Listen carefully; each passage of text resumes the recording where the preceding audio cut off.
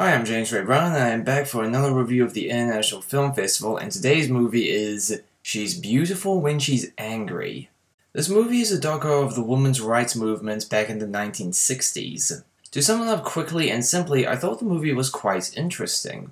It goes into a lot of detail about the events.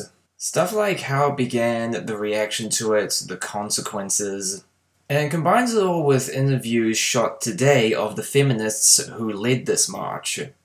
Overall, an interesting look at what life was like back then and the chances taken in order to change that life.